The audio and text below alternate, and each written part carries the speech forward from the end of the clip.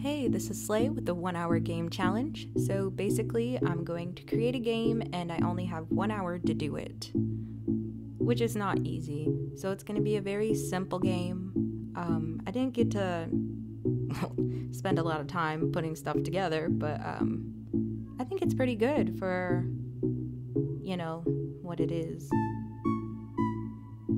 I actually made this using RPG Playground. That's where the challenge came from. One of the mods, Comprehensible, came up with this challenge, and I thought, that is so cool. Um, I'm gonna record myself doing this and maybe get some cloud out there for RPG Playground. It's a really cool site.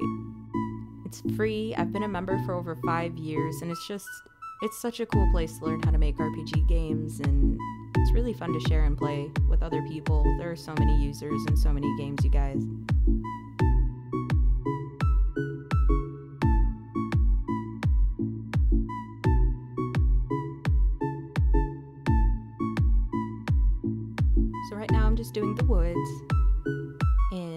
Obviously this is not real time. I had to speed it up by like 800.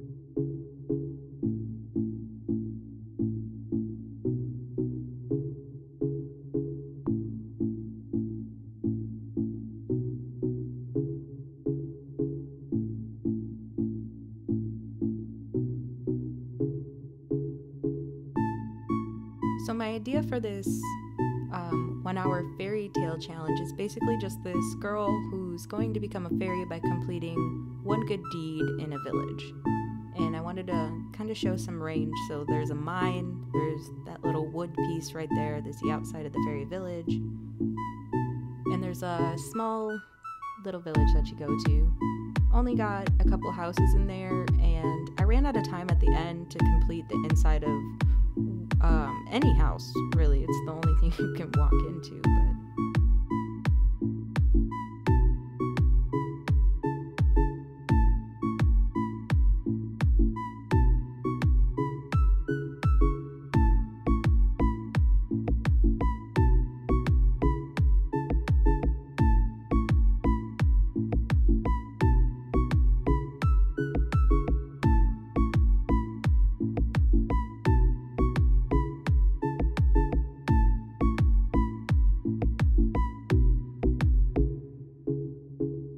Shout out to DeWitters for creating the site. He's seriously awesome. He takes suggestions from people, he works on this, and like I said, he released it for free, and it's been free for some years.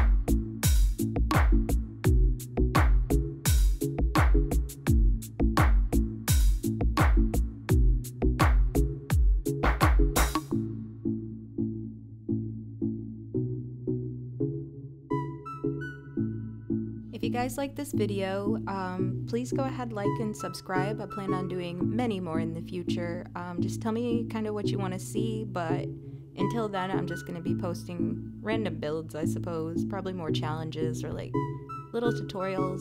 Not necessarily tutorials, but just showing you how I go about building and choosing characters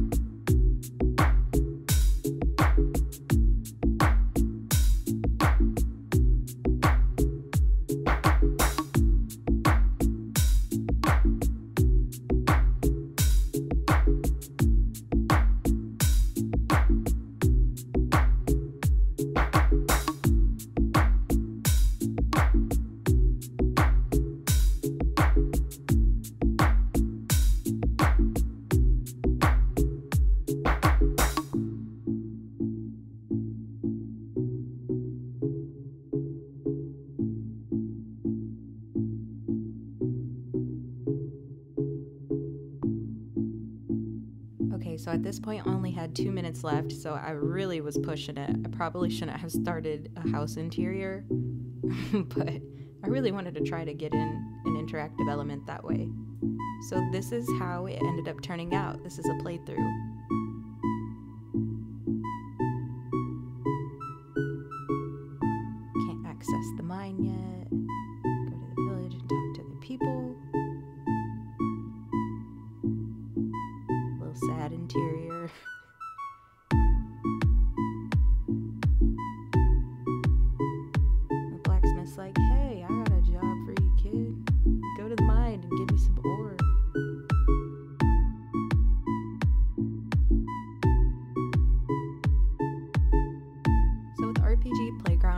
Just love the usability. Like, it's amazing. It's so easy to create games. There's a little bit of a learning curve, not too bad once you understand how the screenplays work, but you can make some pretty awesome stuff. If I did this in an hour, just imagine what you can make with a couple days.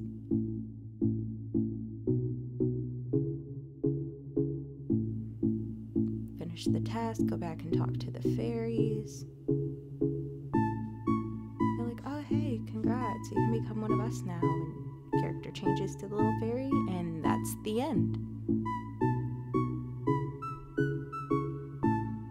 One hour fairy tale game challenge complete. I hope you enjoyed. Definitely check out rpgplayground.com, it's amazing.